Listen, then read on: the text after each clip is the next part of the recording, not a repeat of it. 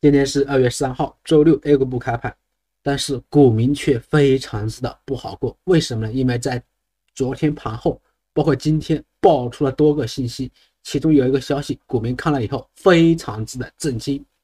那到底是什么消息呢？这个跟 A 股的大跌有很大的关系。到底是谁导致了 A 股这一轮的大幅度杀跌？从某些方面来说啊，确实是。空方子弹太多了，那空方为什么会有这么多子弹呢？接下来怎么走？需要解决什么问题，A 股才能够有所反弹，或者说有所好转？怎么看？下周我们股民到底该选择加仓抄底，还是选择出选择高位跑路？带着这些问题，我们就盘面做一个分析。在讲分析之前，到评论区一波八八八支持一下。我相信啊，在这一个星期里面，大家是损失惨重的。周一、周五啊，连续几天下跌，尤其是周五杀出了恐慌盘，可以说是是一个多空双方史诗级的大战。那这个过程中啊，很多人损失惨重，很多人爆仓了，很多人血本无归，甚至还有爆出说有一些股民走了极端。这些啊，对于整个市场的。影响可以说是非常大，也只能说说明了一个问题：我们的 A 股已经到了非常关键的时候，非常危险的时候。如果再跌的话，很有可能迎来继续的跌停潮，或者说迎来爆仓。为什么这么讲呢？大家看啊，A 股这一轮下跌，从三千四百点到现在的两千六百六的低点啊，两千六百六十六的低点，其实这轮下跌下来已经跌了七八百点，对吧？如果你按这个算的话啊。指数跌七八百个点，那大概就是二十个点的一个跌幅。可是个股很多都跌了百分之五十，甚至很多的不止百分之五十。如果说你加了杠杆的，这个时候啊是面临着爆仓的风险的啊，这个时候是非常之难熬的。周五的这个下跌就跟这个爆仓有关系，就跟加杠杆有关系。大家记住啊，在周五的这一个下跌中啊，很多人认为是什么？是雪球爆仓。当然，有一些的融资盘、融资客也爆仓。如果说再跌的话啊，两千六百这个位置大概率就是两融的啊一个重灾区，或者说两融的核心成本区。一旦跌到两千六，或者说跌破两千六的话，那两融就会出现大幅度的爆仓，出现大幅度的一个下跌啊，这个是非常之危险的啊，非常危险。最近的这个数据显示啊。两融的这个规模大概在一万多亿啊，还有这个不是重点，重点是什么呢？两融之下的啊，在就是两千四百点左右的话，甚至还有爆出说有什么有两万多亿的这个质押盘。那你想，如果说跌掉了两千六，再跌掉了两千四的话，那这个过程当中啊，就会有至少有四万亿的，至少四万亿的这个爆仓。那会加速股市的下跌，加速股市的一个什么一个跳水，这个是一个非常危险的。那你想想，两融爆了，质押爆了，那 A 股的底就没有底了，甚至有人看到一千点。那如果说要到一千点的话，A 股几乎可以什么可以推倒重建了。所以啊，这个环境下是非常是非常之危险的。那为什么会出现这种情况？我们的高层从两啊从三千四百点这度下来啊，不过在这个位置三千一百点左右的时候，他就放放招了，放大招了，又救市了，又稳住了。但是从三千一百点下来，你看跌到现在最多两千六百六十六，这又是几百点下来，感觉就是顶不住。不管你放什么利好，就是顶不住。那为什么会存在这种情况呢？主要原因还是在于空方力量太过强大啊。我说空方力量太过强大是什么意思啊？其实说白了就是子弹太多了。我们都知道，战争双方多方空方决定它的优势的是什么？是手中的这个技术深不深进，是手中的这个子弹充不充分。但关键是什么？我们来看啊，多方多方的话，想要什么？想要进攻，你就什么要有钱。然后呢，你做多的手段只有一个什么？使劲的买买买买股票，这使劲的买，很单一，对不对？关键是你没有钱不够啊，信心不足。但是空方。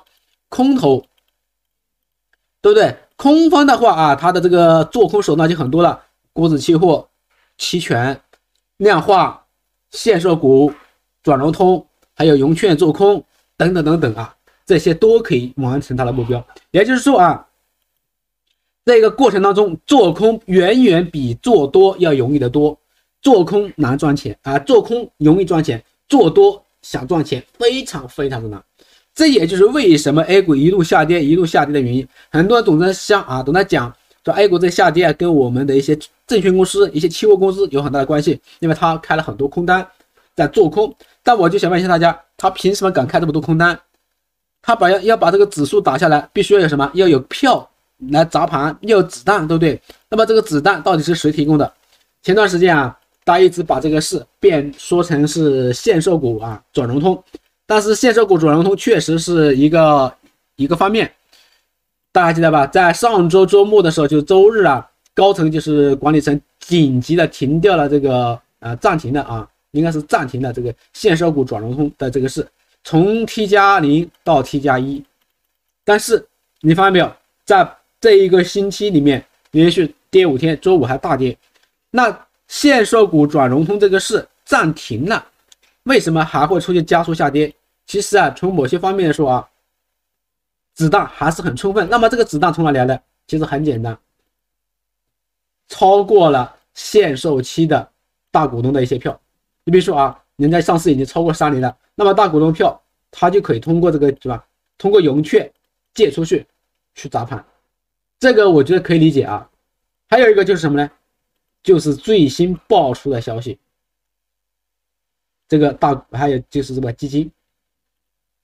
基金持仓也通过了转融通借出去砸盘，借出去了，这个就非常危险，因为基金担任的是我们的稳定的一个一个角一个角色，对吧？稳定市场，你看呢？基金是什么？要有中长期的投资。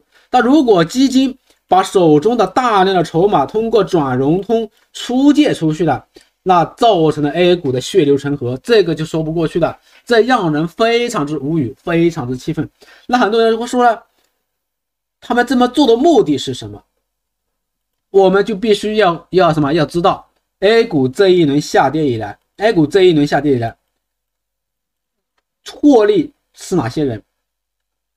首先，第一个大股东，大股东获利是毫无疑问的。大股东的话啊，他只要把票借出去，就可以收取高额的这个什么？这个收益对不对？那大股东获利了，借出去的这个中介机构，比如说中证金，比如说券商，是不是获利的？那肯定呢，有个利息啊，对不对？有个利息啊。好，那借票出去的人，他从高位砸盘了，低位再买回来，他是不是获利的？他也有可能获利，甚至获聚利。为什么？他有个价差，有个价差。所以啊，从某些方面来说啊，转融通这个世界，或者说线上股转融通的这个世界。给大股东、给券商、给中介机构，甚至给了一些大户啊借券的人，提供了赚钱的便利。那我想问一下大家，如果赚钱这么容易，做空这么容易，你会做多吗？明明白白不会，对不对？这也就是大家最为纠结的，是吧？很多人会说，哎呀，中信期货、某某期货、某某期货开了大量的空单，在在在在压盘压制大盘。其实人家，我觉得从专业的角度来说，他没错。我说没错，什么意思啊？就是做空，A 股现在这个现象，做空最容易赚钱。那如果你是专业的，你是做空还是做多，对吧？这个就没有没有必要再过纠结。好，那回到市场，为什么会走成这样子？其实啊，这个最关键的原因，最核心的原因还是在这个过程，RPO 这个上市过程中，A 股上市过程中，我一直强调大家，上市可以，但是上市的话。你得做什么？你做一个重要的一个监管，什么意思啊？这个企业你上市了，好，你你要想在这里拿十个亿去什么？去融资十个亿，扩大生产，补充流动性，你要技术研发，我觉得没有问题，我觉得没有问题。然后你赚了钱了，你把借的钱还到市场里面，还了以后，你还有每你还要分红分给这个股民，享受这个利润，享受这个盛宴，对吧？我觉得这个节奏就是对的。但是呢，我们现在的大股东啊，现在我们的 IPO 已经变成了一名生意，什么生意呢？只要能够上市，那么在其中的各个环节都可以获利。不说别的，IPO 上市的大股东本身，还有就是券商，包括这个律师，包括会计师，这些人都在分蛋糕，但最终买单的是谁呀？是股民和基民。那么股民和基民，如果说这些人把价格定得很高，在高位出逃的话，股民和基民接盘的话，那这个损失就比较惨重了。所以啊，这是当下一个最根本的原因。那很多问题来了，是吧？IPO 上这么多，这些大股东的想法是什么？其实我告诉你啊，现在中国 A 股的大股东啊，他把这个公司上市当成了生意，什么意思呢？我打个比方。就比如说，上市后，对吧？卖股权赚了钱永远比做企业赚了钱多。你是卖股权，你还是做企业？嗯，是你的话啊，比如说，哎，我这个企业啊，一年就赚个一千万，一年就赚个一个亿，对吧？那你还要使劲干，加油干啊！所有的工人不断的努力干。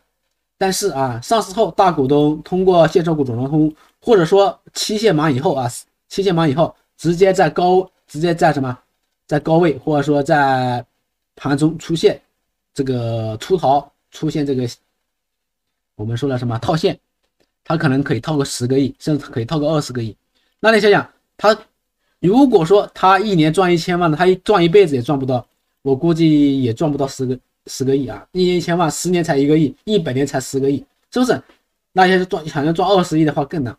但是他只要期限一到。在股票市场把股权卖掉，很容易套现十个亿甚至二十个亿。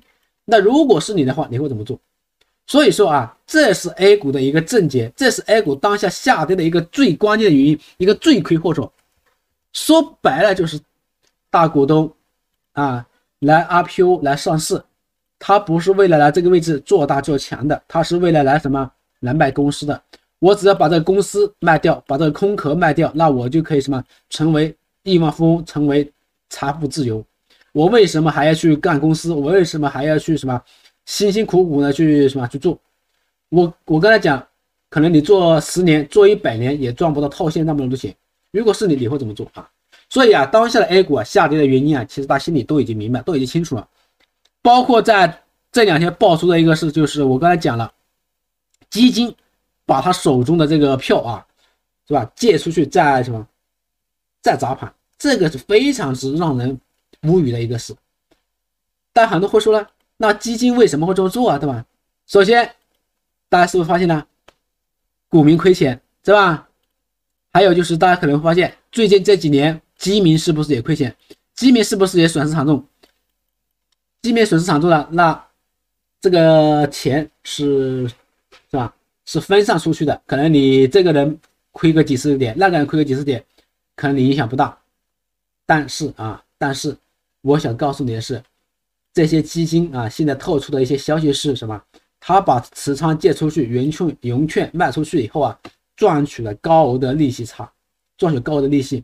关于这个利息啊，就关于这个东西啊，这个东西不计入它的这个什么这个价格，也就是说啊，不计入公募基金的价格，这个是不是有什么？猫腻啊，其实说白了就是借出去以后，基金公司在赚钱，基金经理在赚钱，只有基民在亏钱。这么讲，大家是不是更加容易理解，更加容易明白？所以综合各方面的数据显示啊，我们的 A 股啊，可以说已经是千枪啊千枪千疮百孔了。在这种行情下，如果说不做出重大改变的话啊，就比如说啊，这个做空啊，是吧？这个做空不限制的话，或者说这些票源不限制的话，A 股想要起来，那是任重道远，非常非常难的。当然，从现在的盘面，我觉得随时都有可能开始啊反弹或者反转。这里有一个最大的疑问就是 A 股跌成这样，我相信我们的高层甚至我们的最高层都应该知道，但为什么高层知道 A 股跌成这样？却没有行动呢？大家有没有想过这背后有什么样的猫腻吗？想想，对吧？我就是想，A 股跌成这样，成为全球最差的，难道我们的最高层、我们的嗯，还有下面的一些管理机构，他不知道吗？肯定知道。那为什么他不做出行动，不学习人家韩国，不学习其他国家啊？韩国大家都知道啊，在去年。跌得一塌糊涂的时候，人家紧急出台了这个救市政策，在这里迎来了一个微型的反转，原因就是禁止做空，而且呢，禁止做空，人家还说了一个是，在禁止做空以后，市场没有好转的话，将延长做空的这个期限。你看看，在直直到这个市场平衡了，直到这个市场回到原来的正常轨道了。人家才会什么放松，我们是什么做空非常之厉害，做空肆无忌惮，但是我们对做空根本上就没有特别大的一个什么一个限制。